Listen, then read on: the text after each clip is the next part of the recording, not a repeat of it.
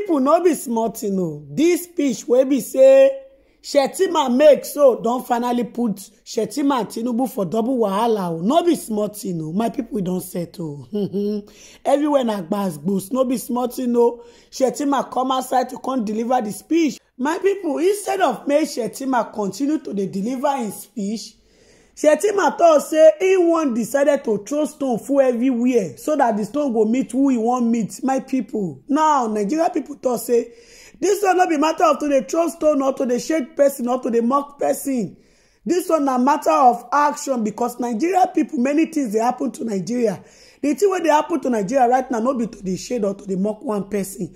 My pipo make una go hear di speech of shetima wey be say draw a lot of pipo attention wey be say pipo dey tok say ah wetin oda party dey do for inside dis speech now my pipo make una go watch video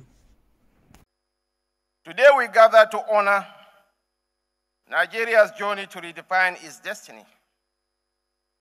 Today we stand on the precipice of history to reflect upon a nation that has defied the predictions of doomsayers, a nation that has become the metaphor of resilience. Over the past 63 years, we have not only survived, but thrived because of our collective resolve our commitment to progress, and the enduring spirit of unity that binds us together from Aba down through to Ogbomosho, to Zaria, to Birnin Kebbi, despite the conspiracies of minor vested interests.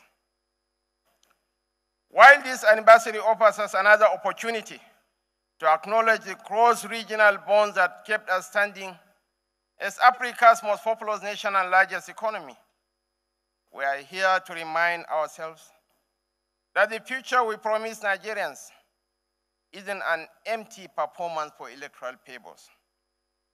You can't renew the hope of the nation unless you are prepared to pursue bold reforms.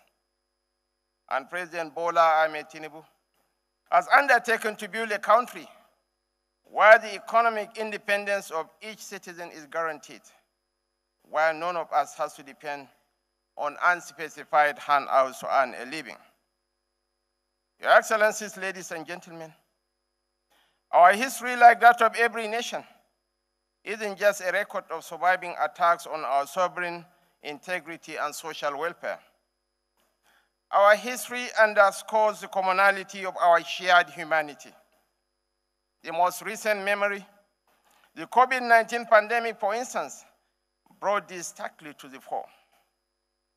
The tragedy reminded us that viruses do not discriminate based on ethnicity or religion, and that our strength as a nation is driven by our collective faith in the ideal that define us and the moral character of our leaders. Your Excellencies, ladies and gentlemen, I love Nigeria. I believe in the Nigeria project. Not because of my vested interests. I am 57 years old. As per the UNDP, the average age of a Borno man is 47. So I'm well past my prime. Certainly not because of my family. I have only a wife and three kids. I believe in Nigeria because if Nigeria works, the black man works.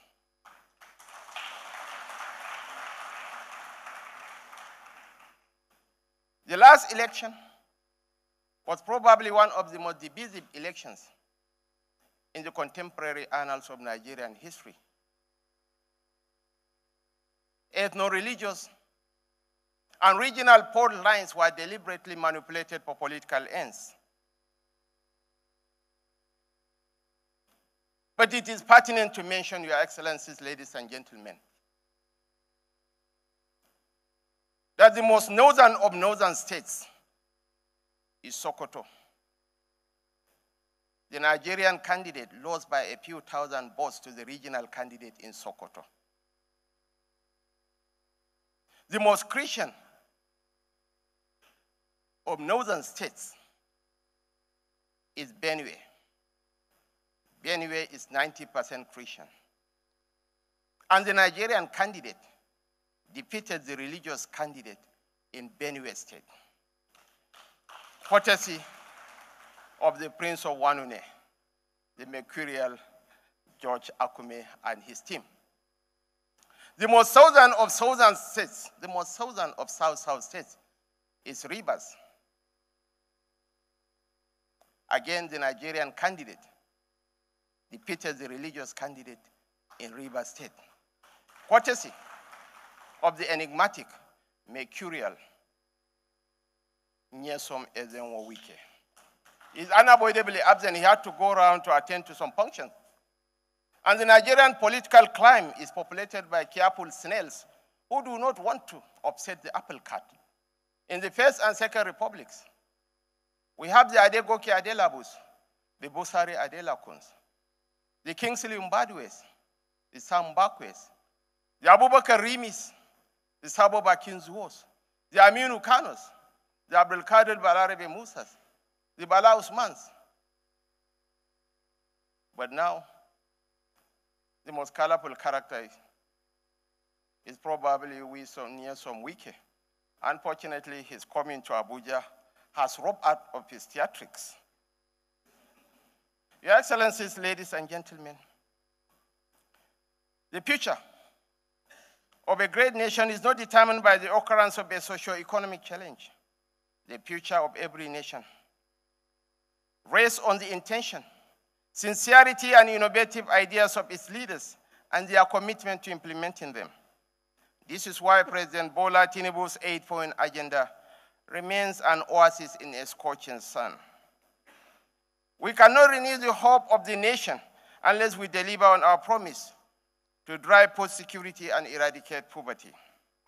We cannot foster economic growth and nurture job creation unless we facilitate access to capital, enhance national security, and optimize the business environment for our enterprises. We are going to uphold the rule of law and fight corruption to design the Nigeria of our dream. We can't achieve any of these unless each citizen remains a strategic partner in pursuit of our ultimate national interests. At 63, we recognize that what has sustained us and propelled us forward is our collective belief that overcoming the challenges we have inherited necessitates sacrifices, especially from us, the leaders. We are driven by the realization that these sacrifices are not for naught. They are investments in a brighter future. Investments that will redeem the future, the fortune of our great generation and guarantee the well-being of generations to come. Your Excellencies, distinguished ladies and gentlemen, the present administration also recognizes that the sacrifices made by each Nigerian will never be in vain. Such solidarity with our economic revival strategy, from the bustling streets of Lagos to the serene landscape of Enugu, has inspired our focus on diverse sectors, from agriculture to digital technology, from healthcare to education. We knew from the starting point of this race to serve the people, that the track will not be without its holes and ponds. We knew that challenges will arise and obstacles will test our resolve.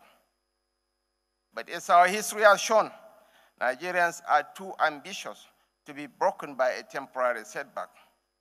We are going to emerge from this phase of our reform stronger, each of us with renewed hope, as we honor the labor of our heroes past.